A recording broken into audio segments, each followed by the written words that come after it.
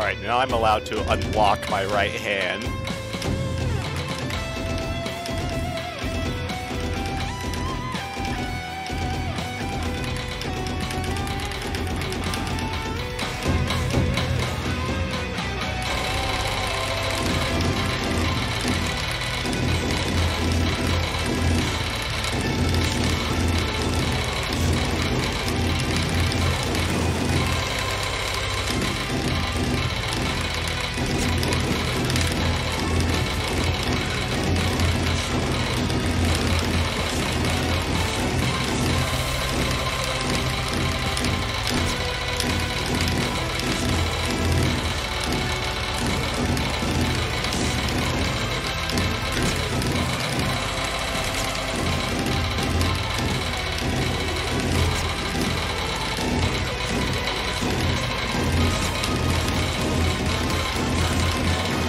Oh my god, that was good.